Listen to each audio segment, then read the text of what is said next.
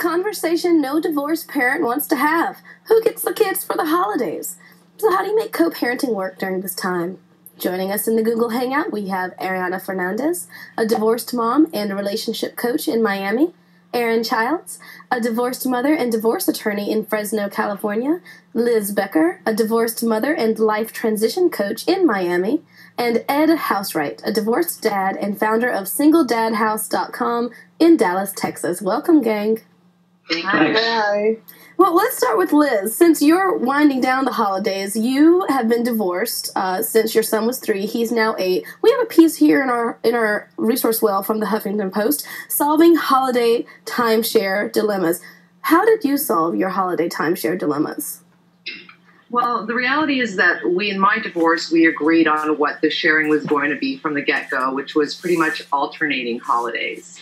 And uh, the reality is, you usually do agree on those facts before you know you, the holidays do arrive after your divorce. In the better cases, and it's a matter of trial and error because there are going to be times where you may have family members coming into town and you'd really like your child there. So it depends on the relationship you have with your ex spouse or the other parent of the child to be able to be a little bit flexible. But the alternating holidays really worked on our behalf. But see, sometimes it doesn't always work out that way for some of your clients. They have not so sane divvying up of the holidays. Absolutely. And in that case, there are various things that you can do actually, because the reality is, is, you know, divorce is all about new traditions. It's about a new life. And that may mean changing the way that you've celebrated the holidays up until now. Uh, you have to learn how to be creative in order to create a great environment for your child and have a positive life ahead if you're dealing with a spouse that doesn't want to work with you on that. And you create your new traditions. You know, you can split holidays. You can, you know, celebrate the holiday on the day after they get back if need be. But there are things that you can do to create these new traditions. And so, do you feel that in giving up every other holiday, do you feel that you've sacrificed something? Not at all. You know, at first it's a little bit hard, but in other areas, you know, when you look at things and when you're trying to cope, as a parent in life, you really, when you're married and you have your children, you dedicate solely on your family. And there's a lot of things that you've always wanted to do in, in your own personal being. And when the time comes that you don't have your child during that holiday, there are things that you can do to keep yourself busy, to be around people that maybe have like family situations and really enjoy the moments with your other friends and family as well. I mean, it's all in how you're going to take the perspective and how you're going to look at it is going to be the result of your holiday, period. It's not easy. I'm not going to say that it's easy. We all want to have our children over the holidays without a doubt. But in life, you know, you have to make lemonade out of lemons and you have to turn the negative into a positive somehow. That's absolutely true. Ed, you definitely have turned your experience into a great blog, singledadhouse.com. You have primary custody of your children. How do you guys divvy up the holidays? Right. Well, it's it's been a good situation. We've been divorced for ten years, and uh, we've always shared uh, my son Connor, our son, on Christmas morning. We live about five minutes apart, and we just have an informal agreement. We never uh, specified it in the divorce decree, which is probably unusual.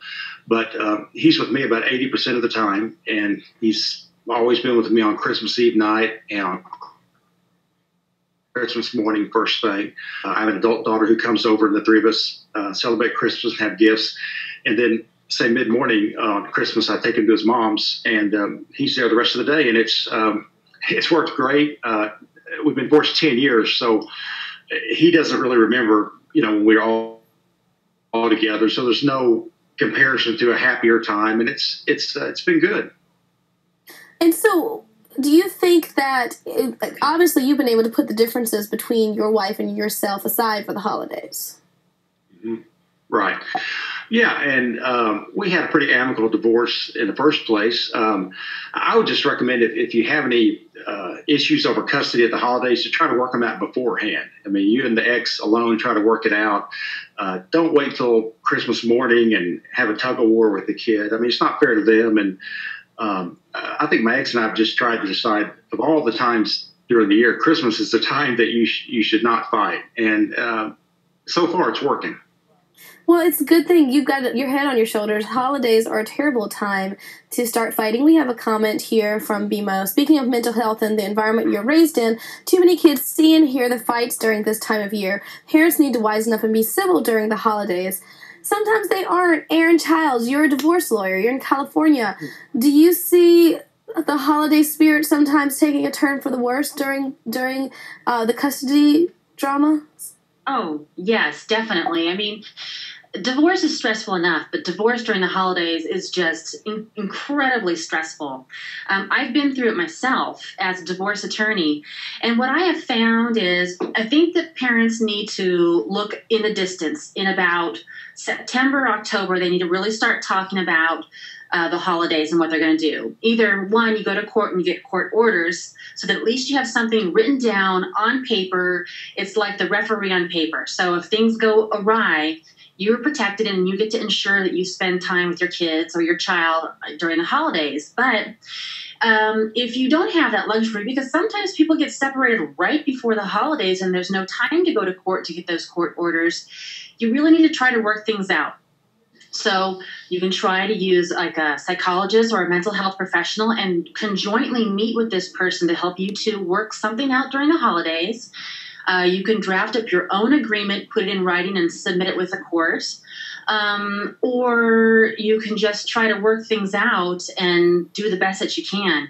One thing I always suggest is that people remember what is most important, and that's their children. Your children should be the center of your universe. And realizing that memories stick, especially around Christmas, those memories really stick with a kid. And when things get really, really tough, focus on giving your child the gift of good memories. So if it means biting your tongue, um, working really hard, accepting the unacceptable, but knowing you're giving your child the gift of lack of chaos, lacks of toxicity, um, a lack of fighting during the holidays, you've done a great service to your child. Um, sometimes I tell people, go make uh, some strategically planned meetings with your own therapist when you know that exchange date is coming, the time is coming, or those family dinners that are most difficult. Make an appointment with your therapist to kind of cut it off at the pass and deal with it. Now, I'm, go ahead. Wait, I'm sorry. And were you about to ask her a question? No, I just think that's that's great advice. Uh, parents just need to be adults during the holidays and realize. I would agree with uh, Erin that th- think back to your fond memories. You wouldn't want to uh, have uh, memories of childhood where your parents fought, and neither should should your kids. Well, Erin, I'm curious. What is your what is your custody arrangement with your ex? Um, you know, I'm really lucky because I have a really nice ex husband. So we get along pretty well, but there was a time when it was extremely difficult. In fact, we separated, I think, on December 2nd. So it was really, really difficult. So for the first Christmas, and we're both attorneys, uh, we we we knew better than to go to court, so we made our own arrangement. What we did finally in our divorce, we have a scheduled time for the holidays. You know, there was one holiday that was more important to me than it was to him, so I get that every year. He gets one holiday every year.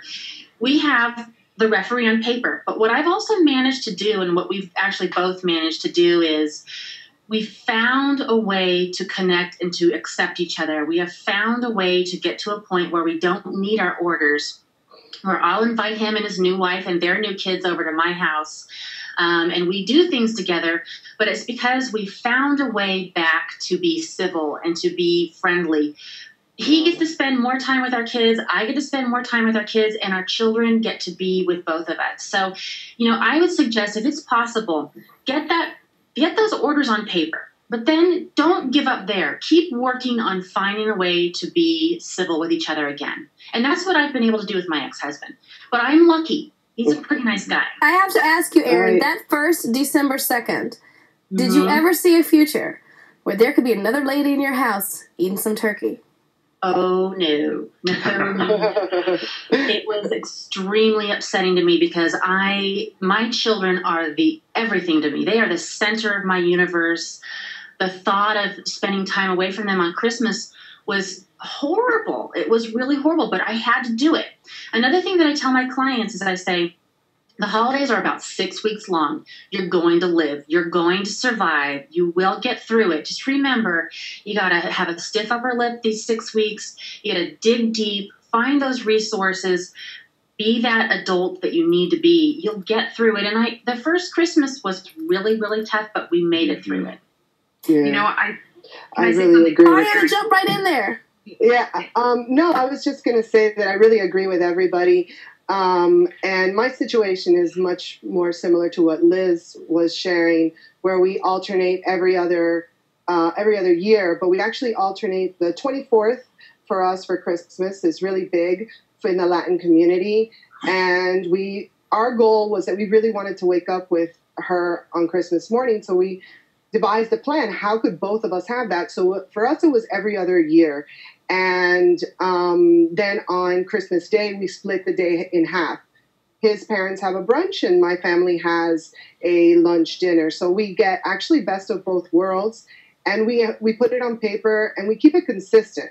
I also think that one of the most important things is to keep consistency with children, to make a plan and to stick to it. And of course, uh, as the years go on, I, I've been divorced seven years also, so it's been quite a while.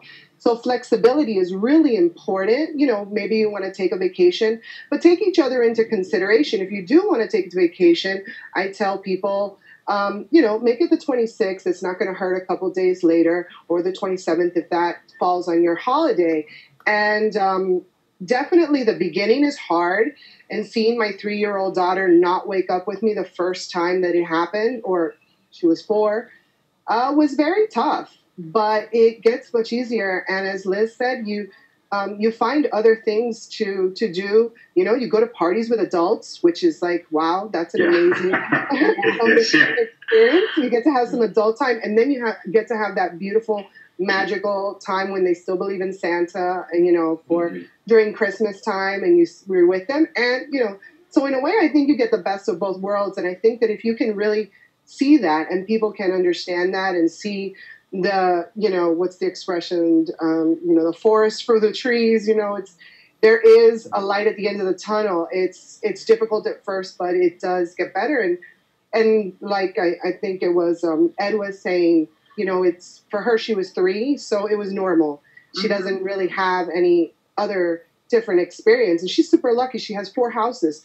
that she gets presents at. You know, all yeah. the grandparents are in town, uh, you know, thankfully still with us. And, you know, I tell her all the time she's the luckiest kid in the world, you know. So Yeah, and I think that's a good point. Posturing the language so that, oh, too bad for you, you're getting split up into different houses and shuffled around. You get a bunch of presents. Whether it's Hanukkah, whether it's Christmas, you get a whole lot more, you know, spread when it comes to perhaps getting that gift that you might want. But I do have to ask this question. I'm curious do you ever have like a little competitive spirit when it comes to presents from oh what's their dad gonna get them what's their mom gonna get them oh are they spending more is that gonna make me look like a tightwad or like the grinch um, you know you, you, just have to pick and choose what's important to you and yeah i mean that could happen um, but I want happiness. I got divorced to be happy. I didn't get divorced to continually be unhappy. So I have just told myself, you know what, pick and choose your battles, and that's not important. If, if it feels like there's competition, let it go. I want to be happy, and I want my children to be happy. You just have to learn to let it go.